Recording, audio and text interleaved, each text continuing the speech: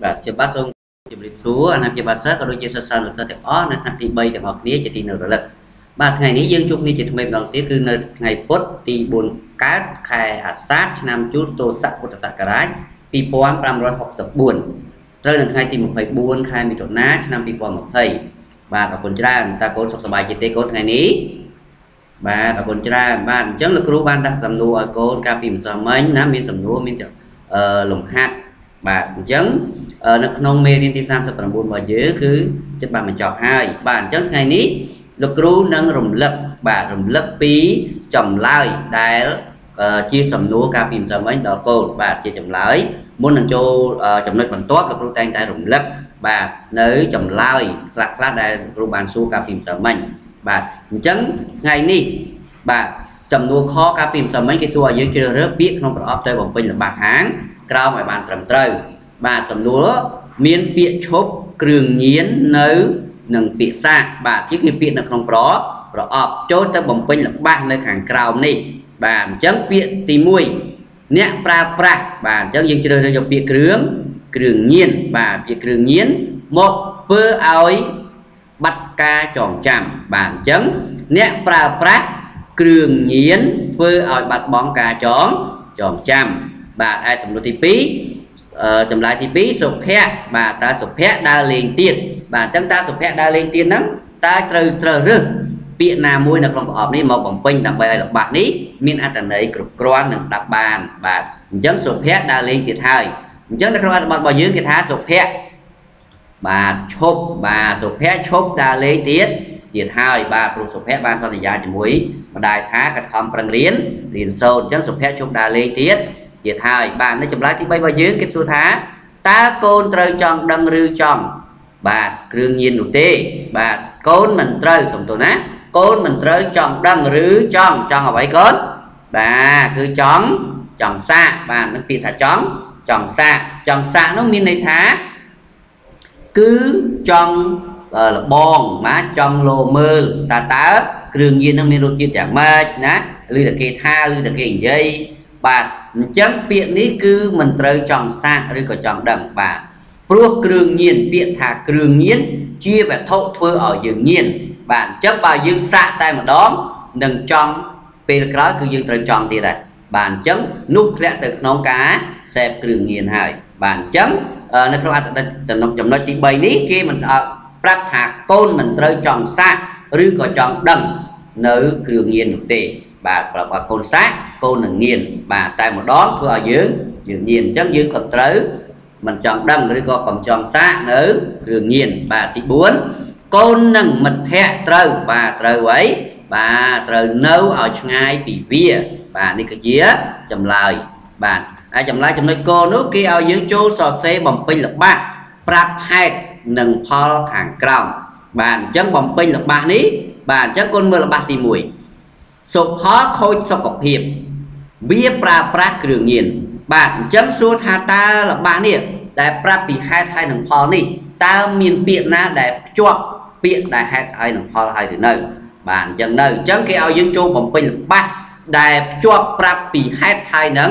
នឹងផលបាទតើយើងត្រូវប្រើពាក្យណាដើម្បីភ្ជាប់ពីពាក្យហេតុហើយនឹងផលបាទនេះគឺជា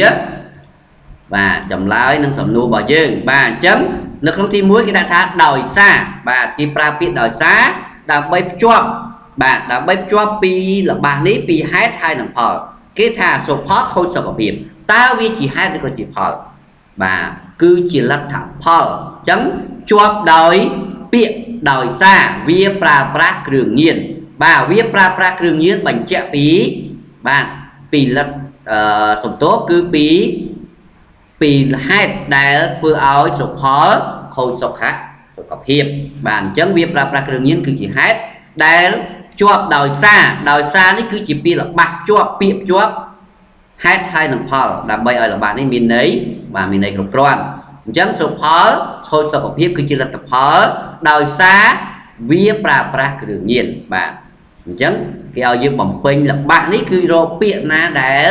ជាប់ល្បះនេះឲ្យមានន័យគ្រប់ គ្រប់គ្រាន់បាទណាអញ្ចឹងរបស់នេះហើយដែលពាក្យទាំងនេះហើយដែលធ្វើឲ្យឲ្យយើងណាស្ដាប់បាននៅពាក្យ clear ហេតុហើយនឹងផលអញ្ចឹងចំណុចកន្លែងនេះលោកគ្រូឲ្យយើងសរសេរបំពេញពាក្យដើម្បីឲ្យរបស់នេះមានន័យគ្រប់គ្រប់គ្រាន់បាទអញ្ចឹងទី2គេថាកសិករគ្មានទឹកធ្វើស្រែគ្មានភ្លៀងធ្លាក់បាទអញ្ចឹងគាត់ត្រាប់បានហើយកូនបាទអញ្ចឹងយើងត្រូវរើពាក្យណាដែលជាប់ ទំនាក់ទំនងឲ្យហេតុហើយនឹងផល បាទអញ្ចឹងយើងត្រូវថាព្រោះកសិករគ្មានទឹកធ្វើស្រែព្រោះគ្មានភ្លៀងធ្លាក់បាទអញ្ចឹងពាក្យកសិករគ្មានទឹកធ្វើស្រែគឺជាអ្វីបាទគឺជាមូលមូលអើគឺជាលទ្ធផលសំទោសណាគឺជាលទ្ធផលបាទដែលមកពីគ្មានភ្លៀងជាមូលហេតុដែលធ្វើឲ្យកសិករមានទឹកធ្វើតែព្រោះអញ្ចឹងពាក្យព្រោះនេះគឺសម្រាប់ជាប់ clear បាទជាប់ clear ទាំងហេតុនិងផលនេះឲ្យជាលបាក់មួយដែលពេញពេញលេញបាទនេះគឺពាក្យទាំងនេះគឺជាពាក្យដែលសម្រាប់ជាប់ណារវាងប្រាប់ហេតុហើយនឹងផលបាទអញ្ចឹងទី3គេថាទឹកជំនន់ជនលេខភូមិអស់ប្រជាជនខ្វះទីជម្រកនិងដោយសារអានិងស្បៀងអាហារបាទអញ្ចឹងស្បៀងអាហារគឺអង្គណាគឺអង្គគឺជាអឺ អង្គយកទៅដាំបាយឬយកអីបីចឹងទៅបាទគឺស្បៀងអាហារអញ្ចឹងគេថាទឹកជំនន់ជនលិចភូមិអស់ណាតើយើងត្រូវរករបស់ណាពាក្យណាដើម្បីជាប់ហេតុហើយនឹងផលនេះឲ្យរបស់នេះមានន័យពេញលេញបាទនេះគេឲ្យយើងរកពាក្យដែលល្បះបំពេញល្បះបាទអញ្ចឹងពាក្យណាដែលបំពេញល្បះនេះឲ្យជាប់អឺល្បះនេះហេតុហើយនឹងផលនេះឲ្យមានន័យអត្ថន័យពេញពេញលេញបាទអញ្ចឹងយើងត្រូវប្រើពាក្យ ជាហេតុនាំឲ្យបាទអញ្ចឹងតើកូនស្ដាប់មើលល្បះហ្នឹងតើមានន័យតាក់ទងពី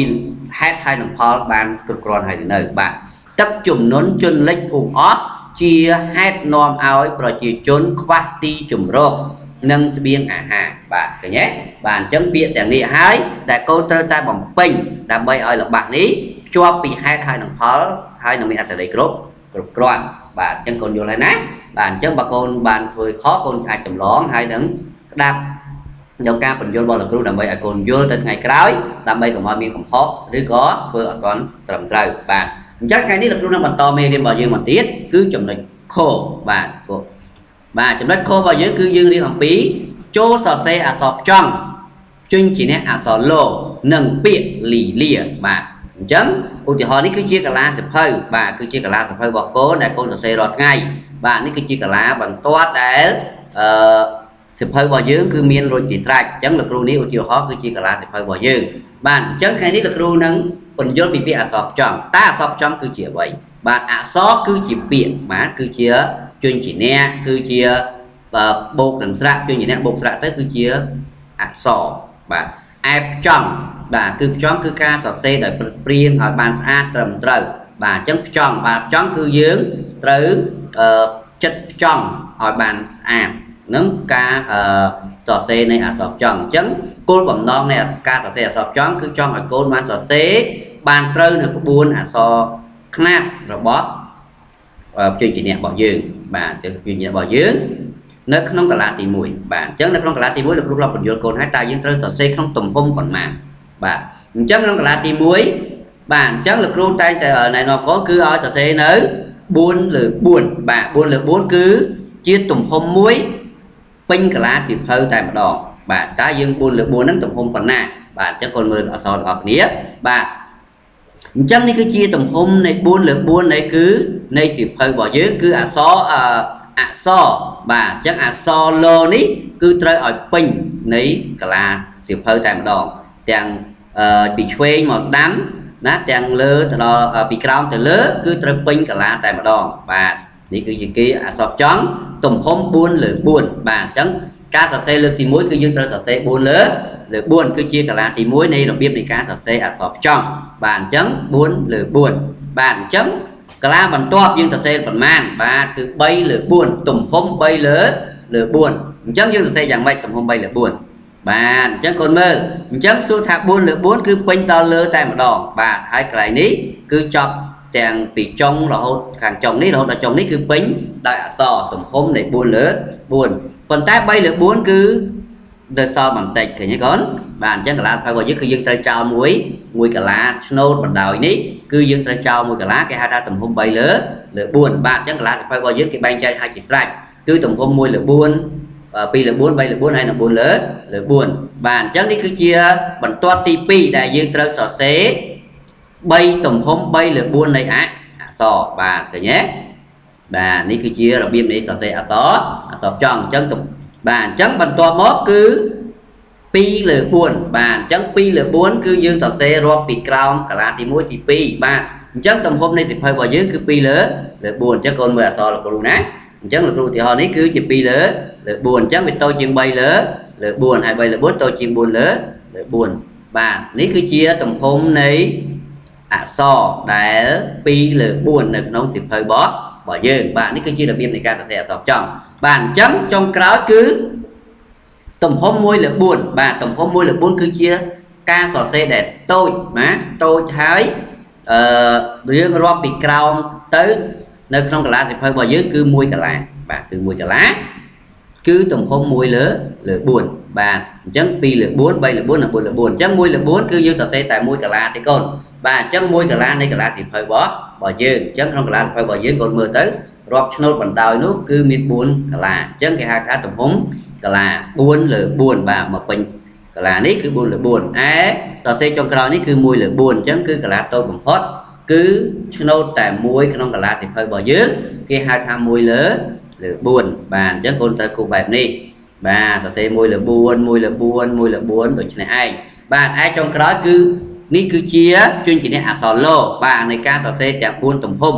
របស់របស់យើងនៃរបៀបនៃការសរសេរអក្សរអក្សរចំបាទអញ្ចឹងគេឲ្យយើងសរសេរនឹងពាក្យលីលាបាទអញ្ចឹងពាក្យលីលាបាទអញ្ចឹងពាក្យលីលាបាទកូនអាចសរសេរ4លើ4បានកូនសរសេរបាទតែ លោកគ្រូឧទាហរណ៍នេះឲ្យកូនសរសេរតែ1លើ4ទេ ពាក្យថាលីលីលាបាទលីលានេះមានន័យថាគឺអត់ដឹងខ្យល់ឬក៏ដើរវង្វេងណាដែលមនុស្សដែលអត់ដឹងអីគឺផ្លេចការចងចាំគេហៅថាមនុស្សឈួតលីលីលាបាទអញ្ចឹងពាក្យលីលានេះគឺមានន័យថាគឺអត់ចាំអ្វីបាទអញ្ចឹងលោកគ្រូឲ្យឧទាហរណ៍កូនគឺសរសេរនៅ1លើលើ4អញ្ចឹងកលាតូចបំផុតនៃសៀវភៅរបស់កូនគឺតែ1កលាអញ្ចឹងកូនសរសេរមកពាក្យលីលាលី លាបាទលីលាបាទបាទនេះគឺជារបួននៃការសរសេរអក្សរចងដែលលោកគ្រូបានបង្ហាញកូនកាលពីអឺលោកលេខអក្សរមុនមុនរួចមកហើយបាទអញ្ចឹងនេះជាការរំលឹកមួយហើយក៏ជាលំហាត់មួយដើម្បីឲ្យកូនដាស់អារម្មណ៍កូនឲ្យកូនបានសរសេរឡើងវិញបាទនៅអក្សរចងទាំងនេះកូនត្រូវសរសេរអក្សរចងដើម្បីឲ្យអក្សររបស់យើងស្អាតសៀវភៅរបស់យើងមានអឺ